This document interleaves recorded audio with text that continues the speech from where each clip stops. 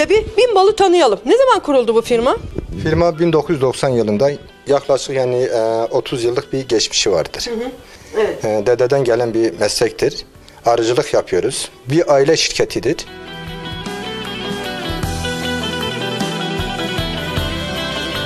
Kovan demek kara bal demektir.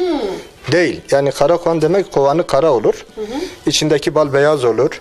Siyah olur, kırmızı olur. Şişenin rengi neyse balın rengi de öyle olur.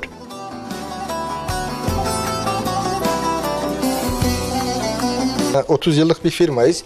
Müşterilerimize hep böyle telefon aracılığıyla e, web sitelerimiz var.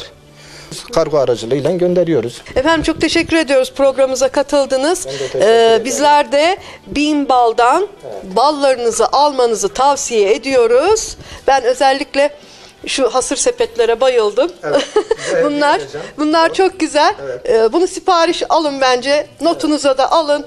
Abdurrahman Bey'i arayın. Hemen göndersin size.